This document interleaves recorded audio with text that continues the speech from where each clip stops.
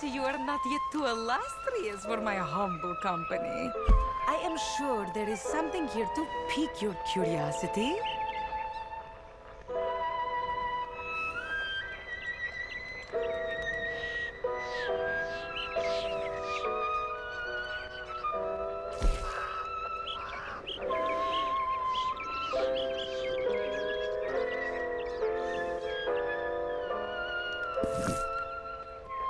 The old seafarers once landed near here.